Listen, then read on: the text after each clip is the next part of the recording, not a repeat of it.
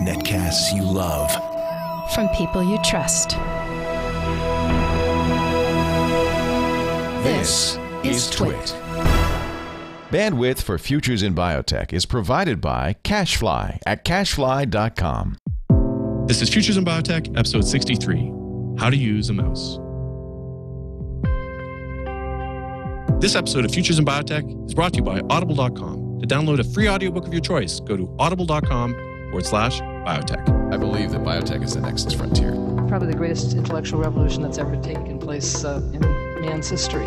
DNA is the code for life. We're actually beginning to understand how life works, which I think is something that's mind blowing in and of itself. There was uh, going to be a genetic component to aging. How long was there the, the extension?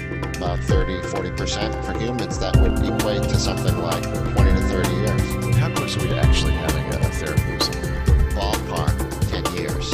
It's potentially one of the things that like rocking the world the same way that uh, people said, oh, the sun's the center of the universe, oh, this and that and everything. And now here's somebody who can come out and say, hey, look, here's how we compare to our closest evolutionary relative.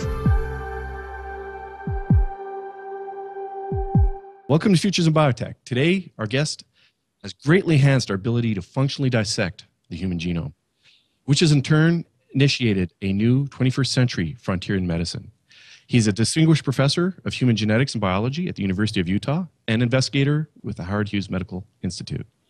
Um, he's won numerous prizes the National Medal of Science, the National Science Foundation, uh, the Kyoto Prize, the Wolf Prize in Medicine, the Gairdner Foundation International Award, the 2001 Albert Lasker Award, and finally the 2007 Nobel Prize in Physiology or Medicine for his discoveries of principles for introducing specific gene modifications in mice by the use of embryonic stem cells. Welcome to the show, Dr. Mario Capecchi. Thank you. It's good to be here. You know, there's a, a lot, uh, you've had a very, very interesting uh, life and career. Um, if, if you don't mind, I'd like to ask you a little bit uh, about your life because I, I, believe it's, uh, you know, a very motivating um, uh, story. And in your autobiography at nobelprize.org, um, you prefaced uh, that in 1996, as a Kyoto Prize laureate, you were asked to write an autobiographical sketch of your early upbringing. Um, their hope was to uncover potential influences or experience that may have been key to fostering a creative spirit within us. And in your own case, uh, you saw that despite the complete absence of an early nurturing environment, the intrinsic drive to make a difference in our world is not easily quenched, and that given the opportunity, early, handi- early handicaps can uh, be overcome and dreams achieved. What did you mean by that? Uh, I mean, I think what's important is uh, giving everybody an opportunity. Uh, that is, in terms of education, in the terms of being able to reach for whatever they uh, seek, in terms of what they're dreaming about. So, given that opportunity, then I think any child will prosper. Um, you you you did have some difficulties in in early life, and you you overcame them. Uh, would you like to talk a little bit about uh, uh, that and how it influenced your life? Because we could also talk about your early career at Harvard and go from there. Sure. I mean, I think the early influences are difficult uh, to uh, to assess as to you know whether they were positive or negative. I mean, I think during that period of time, I was learning. I was learning things that weren't being taught in school, uh, and so I wasn't getting a formal education. But on the other hand, I was experiencing life and seeing what worked and what didn't work. And the main uh, thing that was important at that time was simply survival. That is, being able to obtain food uh, and shelter. Uh, and so those are the things that preoccupied me, and I think it trained me to be patient. Um, you- I, I suppose uh, that it, it really it, it did indeed force you to to learn how to ask a question and find a solution yourself. Yeah, no, you, you're completely self-reliant, uh, and so in that sense, uh, you do seek out your own solutions and see what works, and not seeing, and also seeing, you know, how the pattern. I mean, a child doesn't question their environment; they simply are put into it, and then they interact with that environment and see what works and what doesn't work. Uh, and I think that's actually a good life experience in terms of any uh, discipline, whether it be it science or uh, or any other discipline. Well, you made the best of it, which is really quite amazing, and I, I think is an inspiration to all. Do you, do you believe that um, you, uh, it's more important to want to make a difference in the world, or to have sheer curiosity, or is it a combination? I, I think it's a combination. I mean, I think uh, curiosity is what uh, keeps you asking questions and, and seeing what's uh, known and what isn't known, and then probing the unknown. I think uh, the other, I think, is important in terms of uh, resilience and keeping on going. Uh, so I think it's, I think both aspects are important. Wow because um, you know uh, you you take on gigantic uh, challenges, and uh, I'm wondering, you know, how do you motivate yourself at that level to keep going, uh, considering how difficult science can be? Uh, well, I think again, it's always you know, it's always probing the unknown. I mean, the question I always ask myself, you know, where are we right now, and where do we want to be, and how do we uh, approach uh, getting there? That is, is the technology available to be able to address the questions we want to address, and if not, develop the technology or see if somebody else is developing that technology. So it's always a quest. Uh, so you're always you know probing forward, thinking about the future, and seeing uh, you know how you can interact with it, and it's exciting. I mean, you know, one of the things about science is that it's never st static; it's always changing. So you're all the questions I'm addressing today are very different from what I was questioning five years from now. Will be very different from what I'm going to be asking five years from now. Well, so five years back and five years from now. I'm I'm smiling because you know some people tend to say, well, that technology is not there. I'll invent it. And some people say that nobody's even thought about this technology and I'll invent it. And um, I, I, I, somewhat believe that you're in the category that's willing to take uh, risks at jumping as far as you can ahead in terms of technology and bringing bring it to fruition. Um, I think and, that's uh, one of the hallmarks of our lab is that we do uh, always seek, you know, what isn't available, uh, and that often does require developing new technologies and seeing, you know, how would you even go about it? I mean, right now we're starting a project that will probably take 20 years to develop because we don't have the technology, but we know what we want to do. We simply don't know how to do it.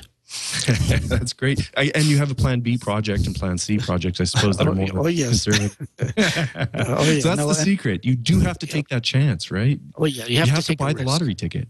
That's right. No, it's it's always a big risk, and the bigger the jump, the bigger the risk, because you literally have no idea how long it'll take you and where you know where you go. But you do have ways of assessing whether you're going in the right direction, at least.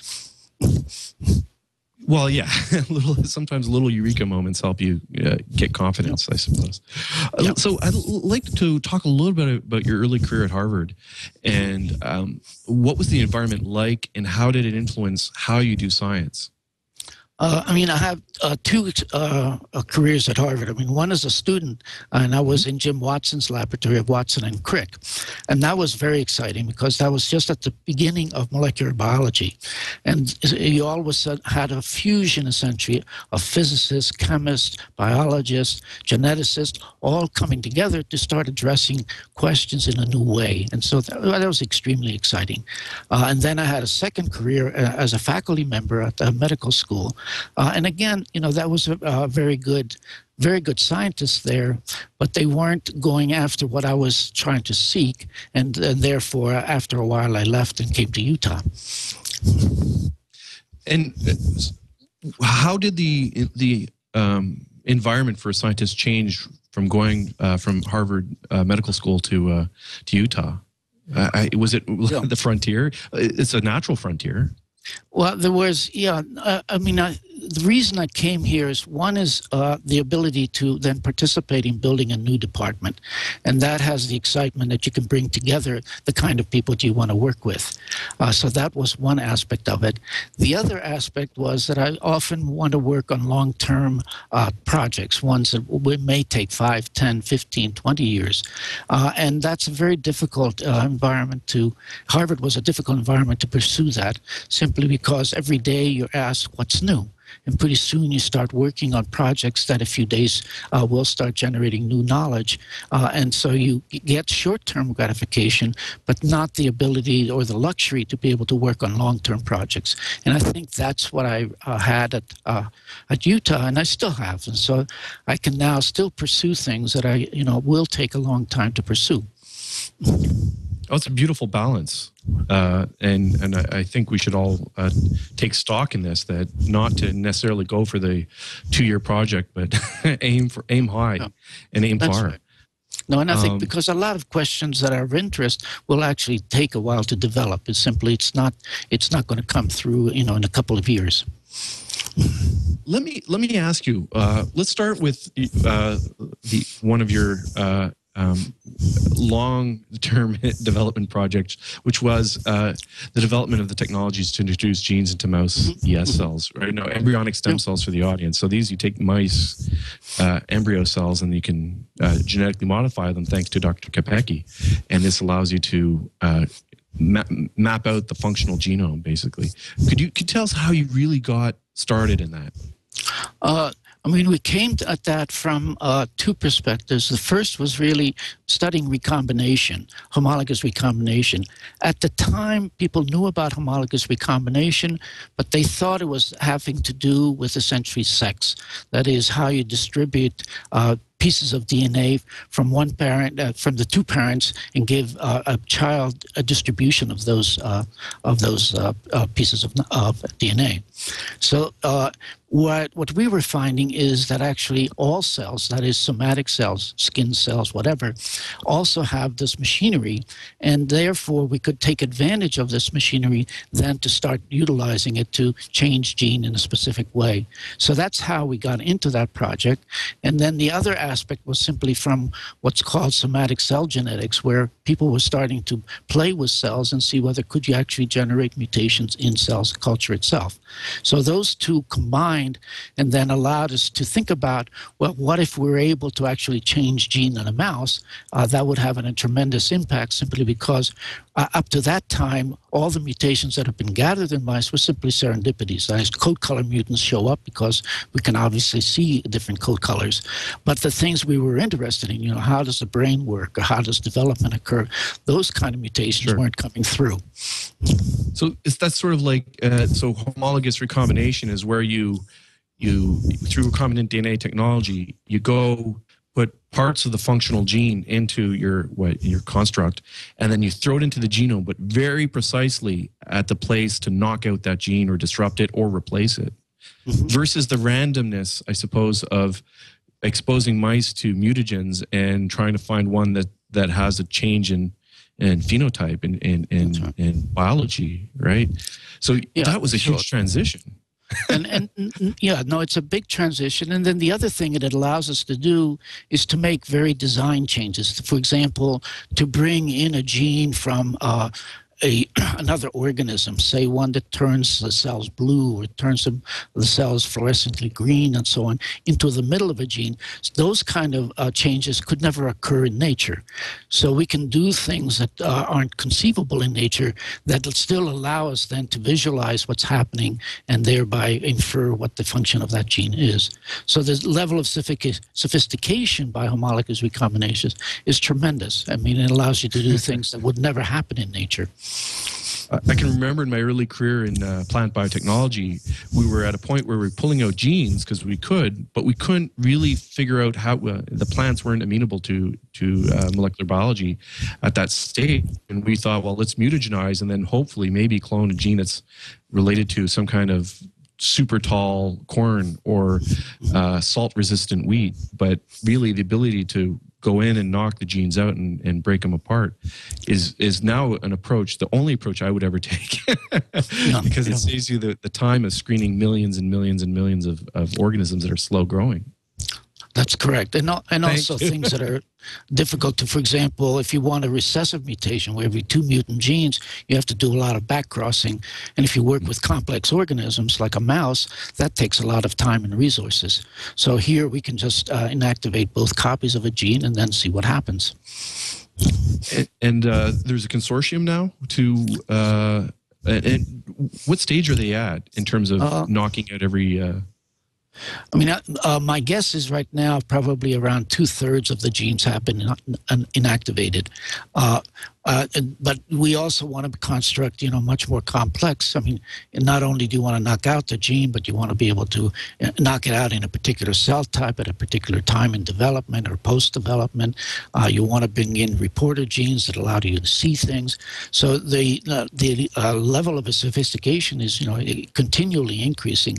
Right now, we normally work with one gene at a time. In the near future, we'll be working with, you know, half a dozen genes at a time and each of them controlling him under separate, uh, different, uh, uh, you know, different temporal controls uh, and uh, spatial controls. We're going to uh, talk a little bit about some of the models and uh, maybe talk a little bit about the genes that you're working on as well, um, and and how I, I suppose the, these technologies can be applied to create human genetic models.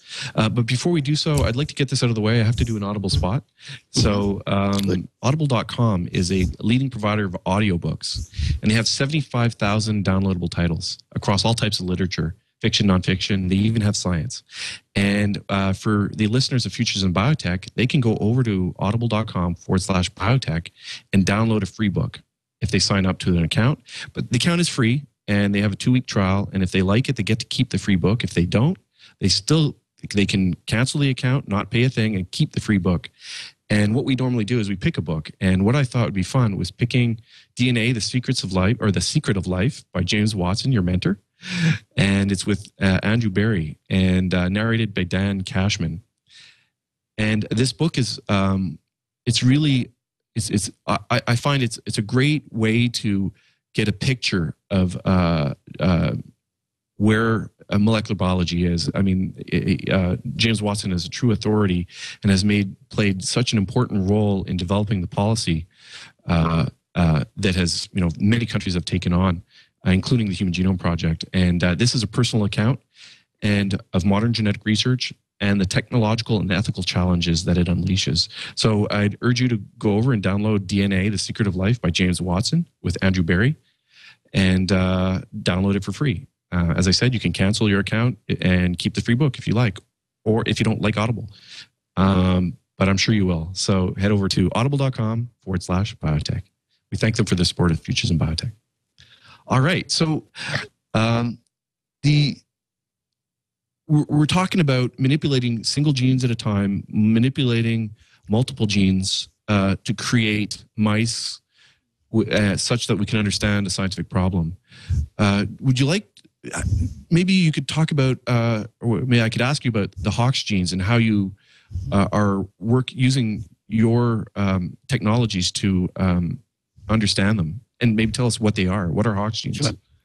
Uh, sure. Hox genes are essentially a, a, set of genes. There are 39 of them in all mammals, which are involved in specifying where along your body axis you make certain things, like organs.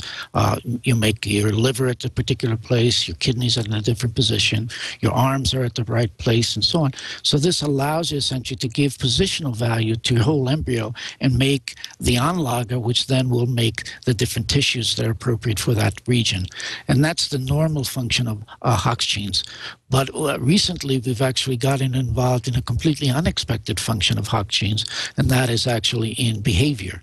That is, we inactivated a Hox gene, which is called HOXB8, and gives rise to a very unexpected behavior that's very similar to humans with the OCD and OC spectrum disorder called trichotillomania, where these patients actually pull out their hair uh, compulsively. Wow! So that paper came out in May. Just yeah, just recently, yeah. just uh, oh, five weeks ago. So we'll right. put the link to the paper in our show notes. So uh-huh. can you tell us how how you how you figured that one out, um, and how how how the, the the project sort of rolled rolled around? Because you, you've done some. There was an interesting. It was, it was really interesting approach. Uh, I mean, the initial approach uh, was uh, I always say we, and we is always the royal we, meaning graduate students, postdocs in the lab. Uh, and this work was started by a graduate student called Joy Greer. And what she did was simply to take movies of these mice. Uh, and because mice are mostly active at nighttime, she used infrared cameras and simply took movies 24 hours a day and then simply asked, What is the mouse doing? And what she found was that everything in terms of eating, drinking, running around the cage, building nests, walking upside down in the cage, you name it, everything was the same as controls except uh, grooming. And that is these mice were spending twice as much time grooming as normal mice. But in addition to it being simply more grooming, the grooming became pathological. That is, they continued to groom and still they actually started to remove the hair. And then at those same sites, they pretty soon they got uh, lesions. And this is common, for example, with OCD patients. What they do is they wash their hands all the time. And then pretty soon they actually have lesions on their hands because they're not getting the feedback to tell them that their hands are clean. And so then this mouse has that same uh, behavior pattern. Uh, this is so knocked was, out for Hox, HOXB8? This is HOXB8. Yeah, it's one of the Hox genes. run gene, and that gives you a very specific behavioral output. And so that was unexpected. You know, why should a Hox gene be involved in behavior? So then the next step was taken by another graduate student, uh, Chen, in the lab. And then what he found we could see the gene was expressed functioning in the brain, but the level was extremely low. And so what we do is to put it under, uh, put HOXB8, uh, a, a reporter gene, for example, GFP, green fluorescent protein. So wherever the gene functions, then those cells turn green. And so that allows us to have a so robust assay. switch that turns it on.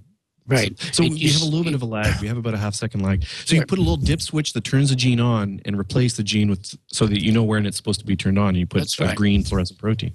Right. And so then those cells turn green. And so then we look in the brain and see, you know, what cells are green. And this was an enormous surprise, and that is microglia.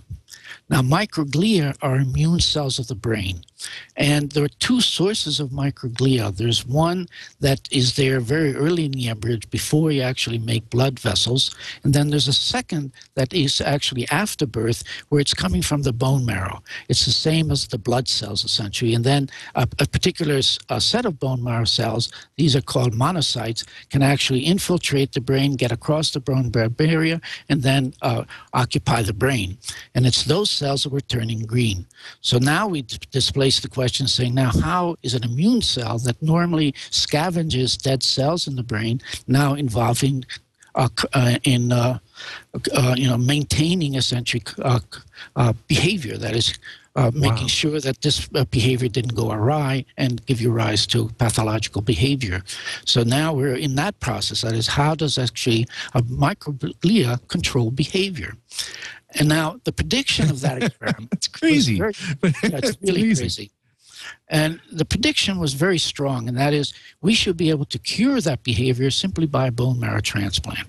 You irradiate the mouse, you wipe out its bone marrow, now plant, reimplant it with new bone marrow from a normal mouse, and does that cure that behavior? And the answer is yes, it works. And that was a real That's surprise. So, and further, we can do the opposite experiment. That is, we can take a mutant bone marrow, put it into a normal mouse, and now that uh, mouse has the pathological behavior. So we can do it either way. Uh, and so now, you know, we have strong evidence that microglia are controlling behavior. And now that opens up a whole new chapter in terms of microglial biology. That's an amazing uh, uh, story of, of science where you knock out one gene, you don't know what it does. Right. And and if you knock out enough of them, you're going to find really really interesting uh, events, and then the biology that the cascade of biology is enormous. Yeah, and, and then you never. So expect, I guess. Go ahead. Uh, and the other thing I should point out is that actually, not only is it important for OCD or OC spectrum disorders like trichotillomania, but it turns out that most neuropsychiatric disorders, whether you're talking about monopolar, bipolar depression, autism, uh, schizophrenia, uh, OCD, OC spectrum disorder, even Alzheimer's disease, all of those have been known to have an association with the immune system. That is, patients that have monopolar depression often also have defects in their immune system. But it wasn't clear what, you know, what, why. Are you depressed and therefore your immune system isn't working well? Or is your immune system not working well, therefore you're at higher risk, of having depression? Okay, cause and effect wasn't clear, and even how those two were connected was not clear. And so now we're providing a, you know, saying here microglia can affect, uh, which are immune systems, uh, can affect essentially behavior. And these cells are coming from the bone marrow. We can actually light up. Again we can make bone marrow that's green and then ask do those cells get into the brain and then uh, become microglia in the brain? And they do. So you've got this this cell uh, disrupted in one gene hoxb8 and it's a it's a uh, an immune cell that's in the brain that derives from bone marrow. I'm just seeing if i understand correctly. And that while we don't understand necessarily the function of the disruption of the gene you've now illustrated that a or not damaged, but a changed microglia, which is an immune cell, can have a enormous control over the behavior of that individual. That's right. That's right. I suppose that subtle changes in various uh, related genes down, maybe in the cascade of the HOX8 or or whatnot, might, if it's further down, might modify different behaviors. That's right. I mean, and I, I, think, yeah, we may just be at the tip of the iceberg in terms of how many behaviors are being controlled through microglia. So that's one aspect of it. And then the aspect, the other aspect is simply how is it doing it? And one can imagine, again, a lot of different scenarios, and they're not mutually exclusive. An example is one thing that immune cells all do is make cytokines. That's how they communicate with each other. So they may be making cytokines that are actually affecting neuronal circuits, which in turn are controlling this behavior. So that's one possibility, but that's just mm-hmm. one of, among many. So this may be a very, very strong oversimplification, but somebody who's washing their hands or grooming is trying to get rid of potential pathogens. That's right. And so they have a defective microglia in their brain, so they're out grooming uh, to remove any potential. They're scared of getting infected. Mm-hmm. Is is that like is that it? Is it as simple as that? That it could, brain's that could be a connection. Yeah. No, I mean, in a sense, you know, uh, I mean, one is uh, removal of pathogens is extremely important. That is our defense against pathogens. If if we look at the part of our genome which has been evolving most rapidly, it always has to do with the immune system because that's our biggest threat in terms of our life existence. And as we uh, populations go up, then we're going to have actually more and more infections as opposed to less and less, simply because it's a function of how dense people are uh, are living, you know, under those conditions that then spread those diseases. So I think uh, so. The defense against pathogens is extremely norm uh, is, is enormous. Okay, mm-hmm. if we don't do it, we die. Uh, on the other hand, why not then connect your behavior to also that? I mean, so, you know, wouldn't it make sense if you have a behavior that gets rid of pathogens to connect it along with the immune system that actually kills those pathogens once they break that barrier? So that's one way of sort of, sort of seeing why there is a connection essentially between immune system controlling behavior, which would be consistent again with getting rid of pathogens. Uh, that's simply a way of looking at evolution to say, no, why hook these things up together? Would it be, uh, would it, so you grew your mice in sterile environments. Would it be possible that even though they are grown in a sterile environment, that there's a potential pathogen that the HOXB8 microglia couldn't get and so that you now are somewhat uh, mildly infected with a, a non-lethal pathogen in the brain and then that is triggering the the behavioral pattern behavior. No, I mean, I think, uh, you know, how you get to pathological, you know, you have a behavior that's doing something good. Then all of a sudden now it becomes pathological.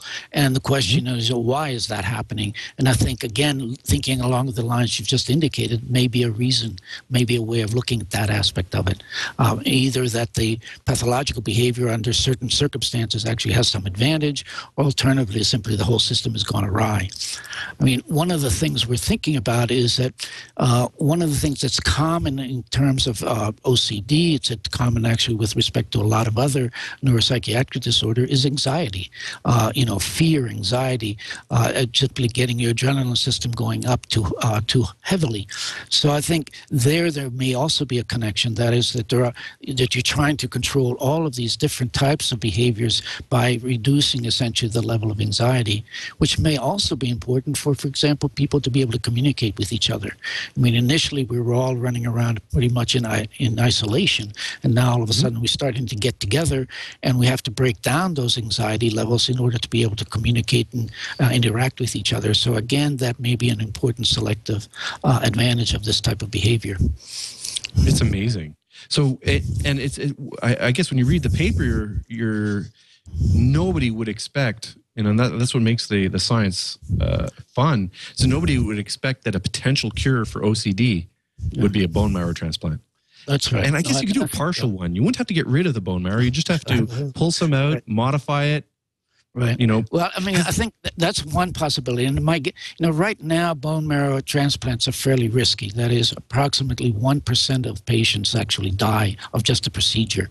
Uh, but mm-hmm. uh, you know, as people start doing more and more bone marrow transplants, I'm sure you know people will develop technologies which will allow them not to be as uh, as high a risk.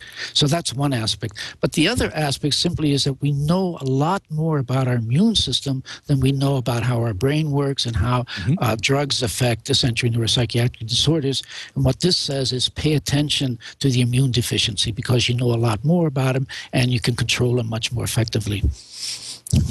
Well, there's some really interesting work being done on HIV and um, the bone marrow where they don't genetically modify it's I think it's a CCR5 gene that you want to disrupt mm-hmm. uh, to become resistant to HIV.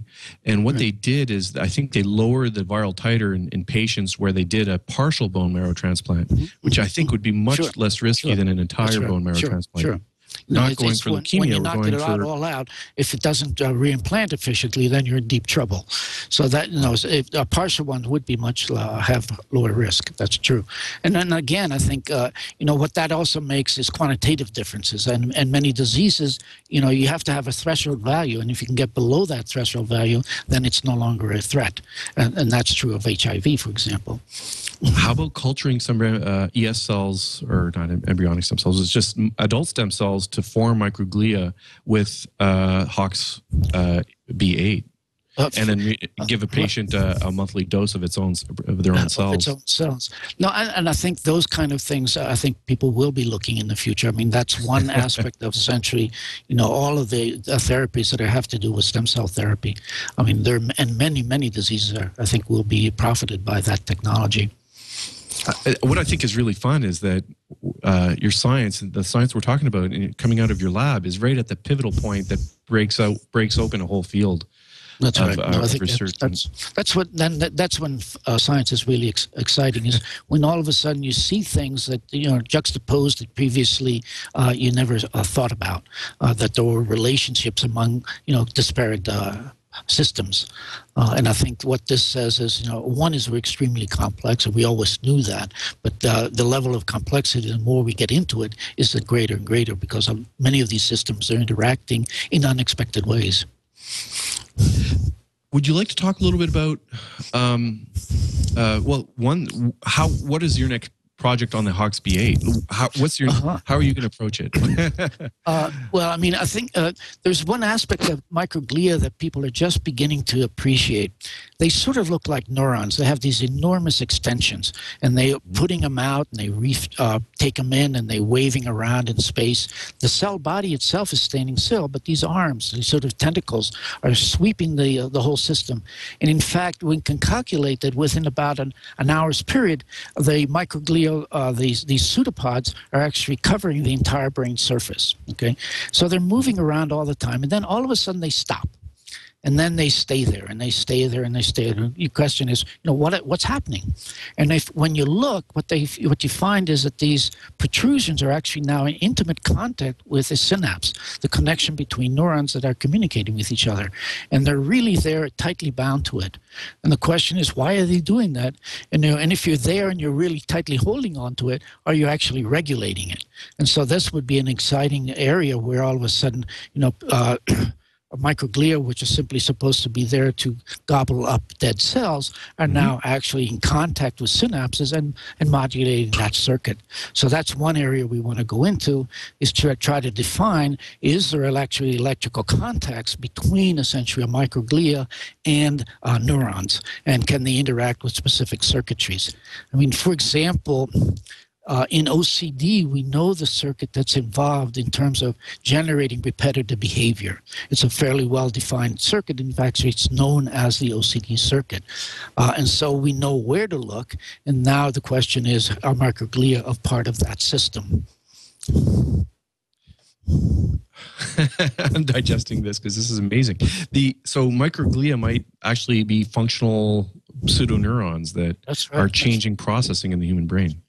And, and you know, and there's a lot of data now that indicates. I mean, our you know, if we look at our brain, it's actually about 10% neurons and 90% glia, and there are all types of glia, microglia being one of them, and astroglia being another, and so on.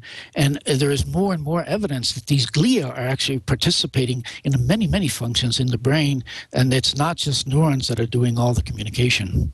That's amazing. well, I, um, God, that, that's a lot of work. I'm, I'm thinking about how to uh, go about, you know, looking at the electrophysiology of microglia's interactions with neurons. Like, like co-cultures, are you going to grow them together and uh, sort of break no, it down that uh, way? What the problem is that uh, I mean, when, for example, if you stick a needle in your brain, okay, what happens is you're going to be killing some cells as that needle's going in. And then what happens is the microglia now change their shape and then become more amoeboid, uh, amoeboid-like and actually travel to that disruption and then start trying to uh, fix the problem. That is, uh, uh gobble up dead cells, pick up debris, and so on. So any perturbation you do to the brain now activates these microglia to do something else. Okay, so what we want to be able to do it, I mean, it's very difficult, is uh, study the microglia in the brain without perturbing the brain. Uh, and that uh, utilizes things like two photon microscopy and so on, which allows us to penetrate the brain but not uh, disrupt the brain. That's amazing. Uh, two photon microscopy for the audience is is a three dimensional microscopy that allows you to see deep into the brain of a mouse, well, fairly deep, I suppose, yep. and and see if, if you're using genetics. And I'd, I'd uh, refer people back to um, our episodes. We had, did two episodes with Marty Chalfie on how to use GFP. Mm-hmm. It's a green fluorescent protein. You can put it behind a dip switch of, a, of the gene you're studying, uh, uh, uh and, and and then you can actually see the functional aspects uh, uh, and where the, the protein is being made live that so you can knock it out turns green and now you're do you expect the microglia for the hoxb8 genes to be uh different like not knowing where to go and what part of the brain that's, and maybe yeah, now there's a yeah now, that's the first thing to ask is simply is their behavior now different? Are they for example wave still waving their arms around but not making contacts with synapses anymore? Uh, you know what what is different about it? Do they respond? I mean one question we would like to answer is if we now tweak the neurons does this now excite the microglia? Okay and are they now excited and, they, and they're starting to put out their protrusions to that that area. So is there a relationship it's, mm-hmm. it's between neural activity and what, how the microglia are interacting with that uh, activity? So there are you know many many types of experiments one can do, and it'll uh, it'll occupy us for a while. how about a, a, registry for HOXB8? This one uh, gene. Do patients with OCD have various mutations that make it partially functional, completely disrupted, or you know, or the initiation uh, site mutations? You know, no, I mean, it turns out, for example, with trichotillomania, and OCD separately affects about 3% of all populations that have been tested, and many populations have been tested. So it seems to be broadly uh, affect many, many different people and types of people. So one thing we can ask, if there's that many, you know, are there HOXB mutations, for example, in patients that have OCD or, or trichotillomania itself? And if so, what are these types of mutations that are affecting it? Uh, so that's one aspect of, uh, of the study that we can do. Uh, and I think the other thing that's interesting is that people are doing a lot of bone marrow transplants. I mean, around 200,000 have been done. Uh, mm-hmm. and the question is, you know, uh, is there any data uh, as to what the uh, effects of those bone marrow transplants have been. Wow. And among those, among that population, there has to be people that have OCD, have uh, you know monopolar uh, depression, and so on. And can one uh, can one start gleaning some uh, uh, story essentially from all of these bone marrow transplants that have already been done? If people have kept you know very good notes, essentially what the outcomes have been.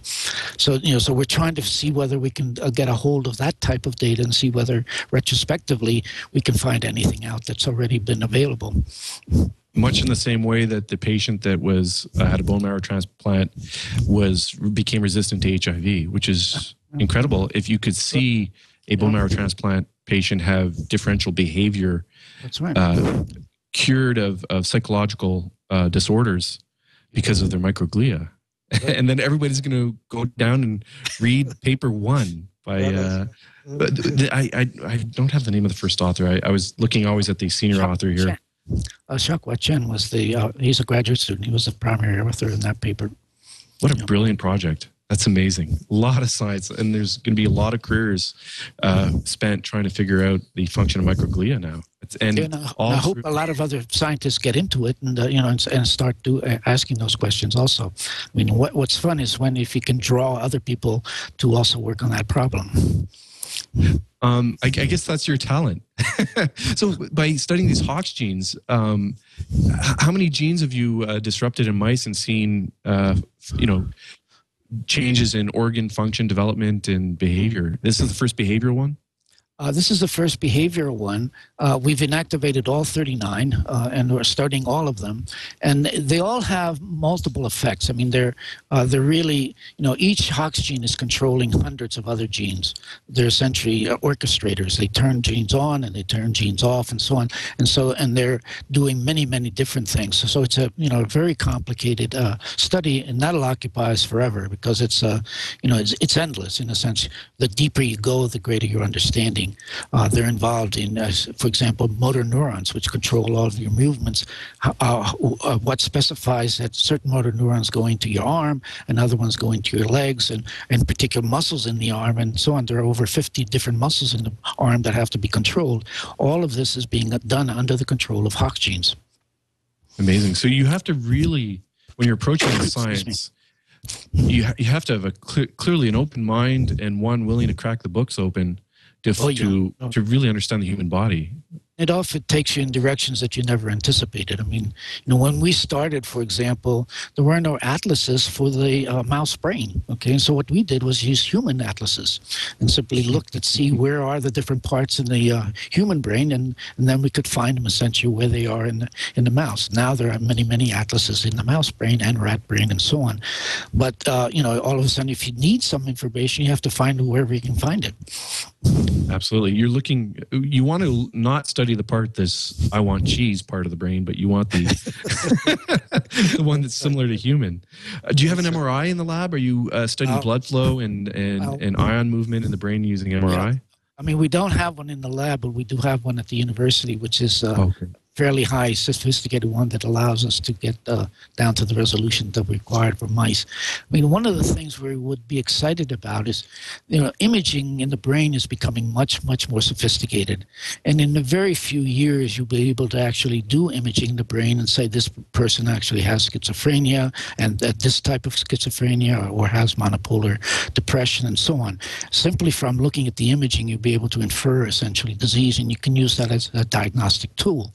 But what's exciting for us is, you know, we have a very difficult time figuring out what the mouse is thinking about. If it has a headache, you know, that's, that's a major problem for us.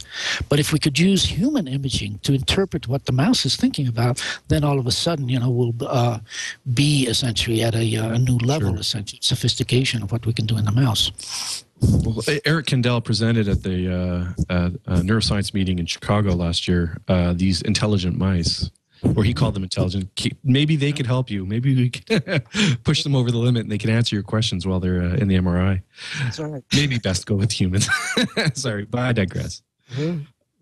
Um, would you like to talk about? Uh, we have a few more minutes. Uh, would you like to talk about uh, the new mouse model for? Uh, I can't pronounce it. Alveolar rhabdomyosarcoma.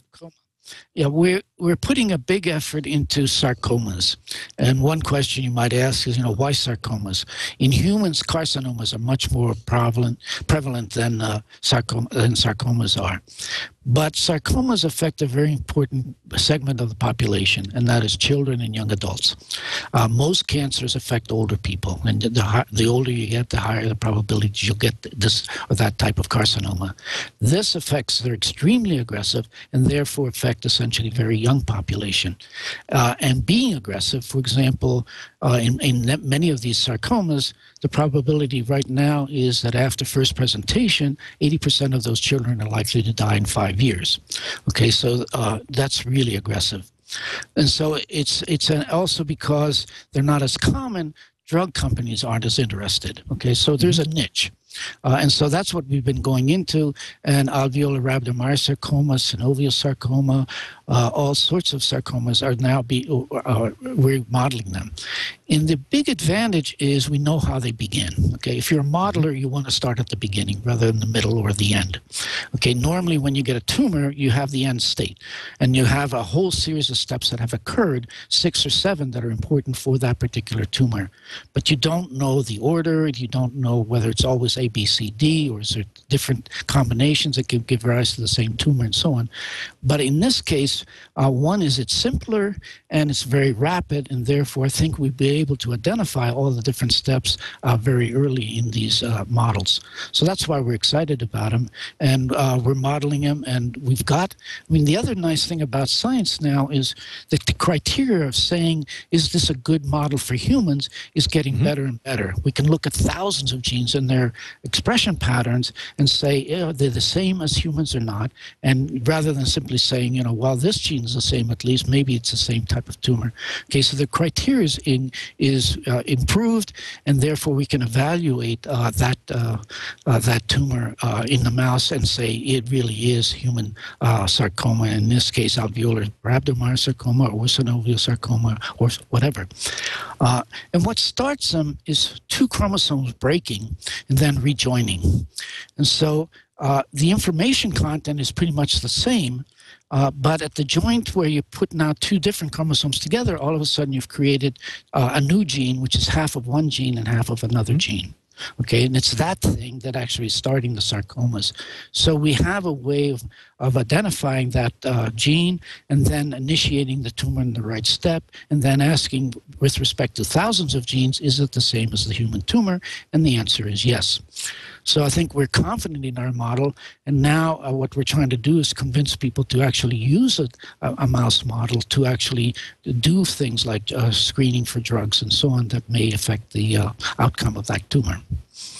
Well, you know, the more more that you can bring information with respect to the drug target and move that forward and give confidence that that is truly the drug target that's be used to that could be used to develop a drug um, brings us closer to the threshold of doing the drug development. Drug development is engineering, it's not science. Um, it's what we do here at uh, my company, and we know what the target is. So we lower the threshold of entry into pharmacology, and it's all based on a mouse knockout. So uh, without your work, I wouldn't have a job, and uh, we, I wouldn't have the opportunity to try and save a million lives a year based on the target that we're working on. And um, I can see that uh, the Nobel Committee got it right, and that the technology that you developed, um, while being uh, uh, it, it's a cornerstone to modern medicine, but that the real fun part is using it. That's right. And, and uh, no, and that, I think, and that, and that, uh, what I'm hoping is, you know, I'll, I'll be able to work another 30, 40 years uh, Mm-hmm. and uh, be able to be continually to contribute uh, to this ever increasing uh, body of knowledge. I mean, one of the things that's really nice about science is it's, it is a real community, and it's a community that doesn't have any borders. Good science can be done in any country, uh, and then we build upon whatever other people have built on, and then we can hopefully extend it, and then other people will build on our contributions, and that brings essentially a community that's, you know, it's undis. Uh, unprecedented in any other uh, in any other uh, venture. I mean, I think science truly can talk across borders in ways that uh, isn't possible in any other sphere.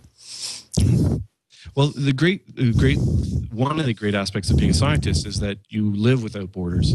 I'm Canadian. I'm working in the United States. We have people from all around the world here, and uh, that's so. I would encourage people to go into science if they love to experience life in a different country and and and may possibly bring that home or uh, introduce new ideas to countries that you know that that exchange of ideas. Well, you know, it's been an incredible honor uh, to have you on the show, and I thank you for your the the work that you've done because, as I said, it's enabled me to do my work, and the work uh, for the next entire generation of life scientists are going to, uh, you know, are counting on the technology that you've developed and and its ability to dissect the human genome. Um, so, thank, Thank you you. very much for coming on. Well, thank you, Mark. Um, it's been a pleasure. I, uh, that we were uh, talking to uh, Mario Capecchi, uh, distinguished professor of human genetics and biology at the University of Utah and investigator at uh, with the Howard Hughes Medical Institute, and he is the uh, a Nobel laureate uh, from 2007 for his work, uh, or a Nobel laureate in physiology or medicine, for the discoveries and principles of int- for introducing gene spe- uh, specific gene modifications in mice and the use of embryonic stem cells. Thank you very much for coming on the show. Yep. Um, I'd, I'd also like to thank Laureen uh, Stitzer and Ryan, who's uh, helping out in uh, Utah, and for helping uh, set up the production. Uh, I'd also like to thank uh, John Solanina for handling the audio and video boards and recording today, Th- and and coming in early because it's very early on the West Coast. I'd also like to thank the team uh, that made this possible: Leo Laporte, Dane Golan, uh, Eric Lanigan, Tony Wang, Frederic Louis, and the rest of the team in Petaluma, California. And I thank you, Leo, for for being patient. Uh, I know we used your studio at a, an awkward time, and I really appreciate your patience. um, and lastly, I'd like to thank Phil Peltier and Will Hall for the opening and closing themes for Futures in Biotech. I'm Mark Peltier.